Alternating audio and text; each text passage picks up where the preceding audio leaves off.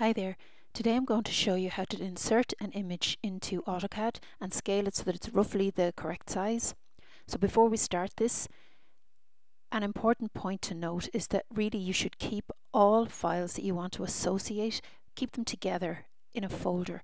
So here I've got the AutoCAD drawing that I want to use and here is the image that I want to insert into it.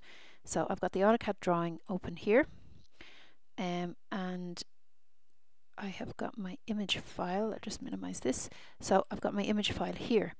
So the difference between these two drawings is that on this image um, I have lots of levels which I know they're a little bit grainy but they'll be very useful when I insert them into this AutoCAD drawing for me to uh, factor in levels.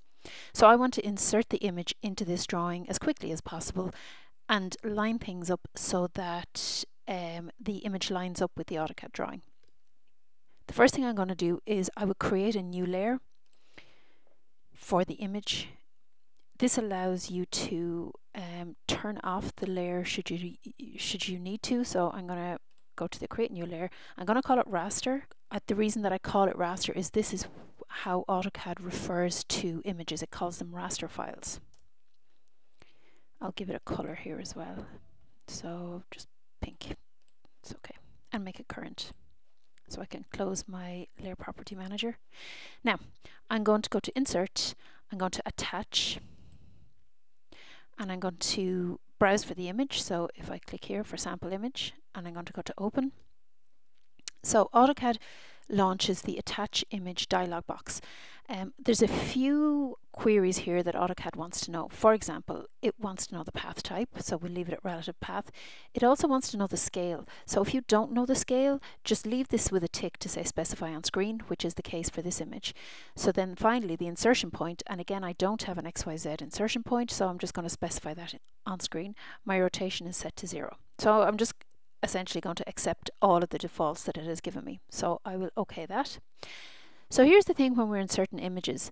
It looks like nothing has changed, even though my beside my cursor it says specify insertion point. But where is my image? Now I haven't clicked yet since going to the insert attach option.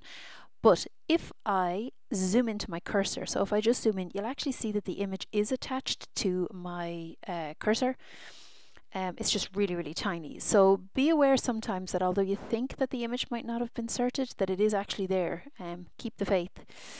So how to insert. So I'm just going to click once to insert and you can see as I drag my mouse that I can drag to insert the image. So I'm going to insert it at about this height. I'm going to click with my mouse and you'll see that my image has inserted. So I'm just going to move it a little bit closer to um, the CAD drawing. So I'll go to my move tool, select the image.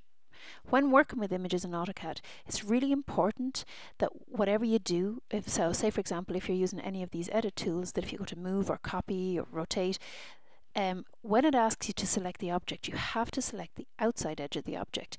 Um, AutoCAD is not concerned with what's drawn on here. So if I was to try and select maybe the outer edge of the green area here, it doesn't see this as being a, a, an edge as far as it's concerned. It's just an image. Um, and everything on the image has kind of the same value to it. Um, so it disregards anything that's actually within this boundary. So it's the boundary you need to click on.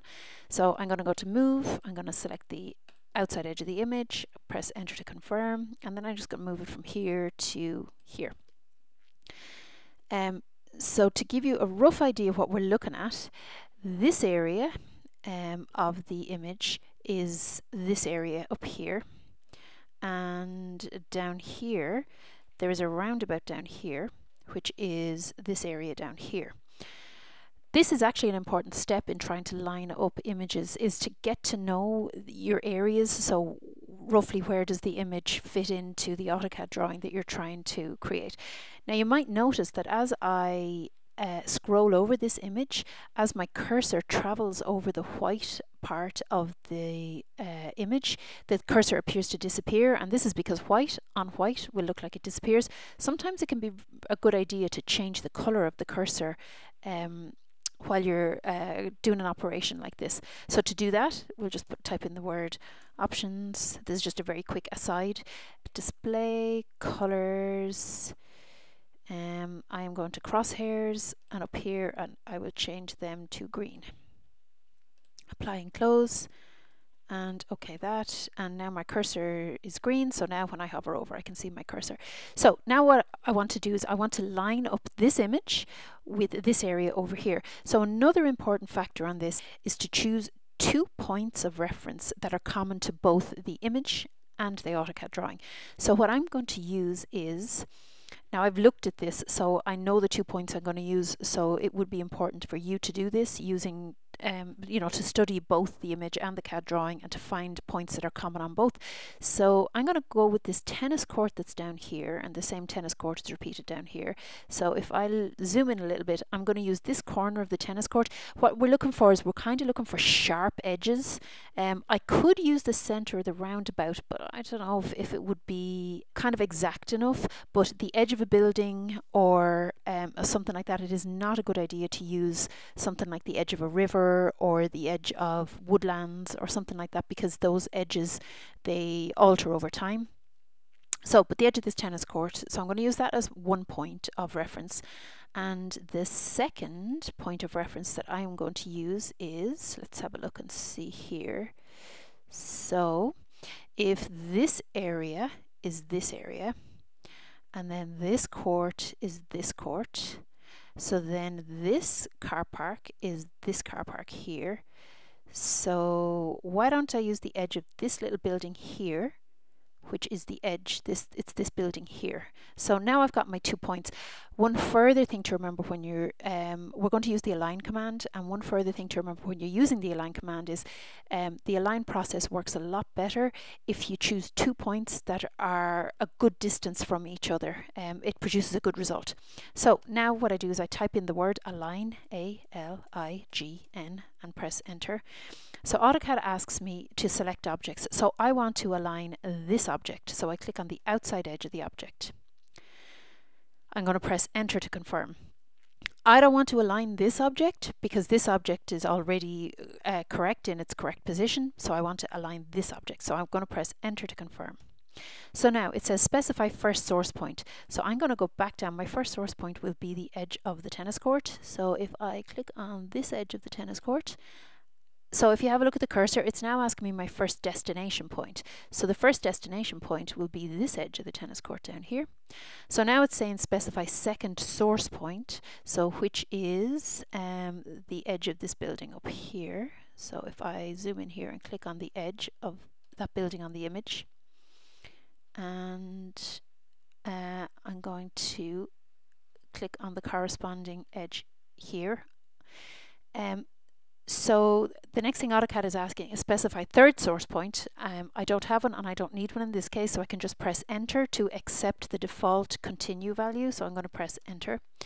So now it asks, do you want to scale the object space on the alignment points? So what AutoCAD is asking you here is, do you want to scale the image to match um, source and destination points? So I do, so I'm going to press yes.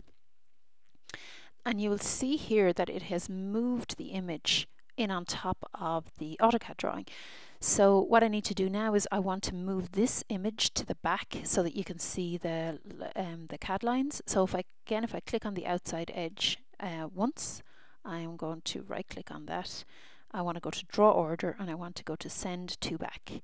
If I click on send to back, so you'll see now that the, the, the image lines up with the CAD drawing and now I can use this image to um, get my spot heights. Thank you very much for watching.